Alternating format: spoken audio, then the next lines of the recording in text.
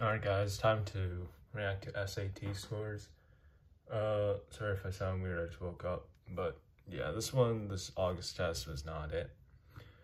I think I did fine on reading, so I'm thinking a 750 on reading, but math is just not good.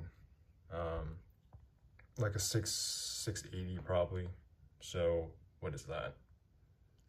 Oh yeah, it's so early in the morning. What's 750 plus 680? Uh, I don't even know. I can't even do addition right now.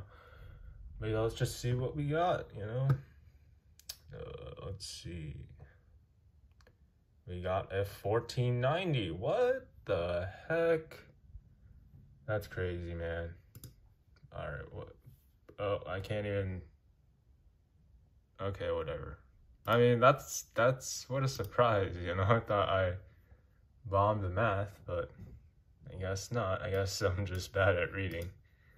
Um, this definitely, I probably lucked out with experimental cues.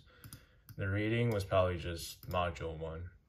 Like there was definitely some dumb crap I did in module one. But yeah, I mean, that's not bad for a first try.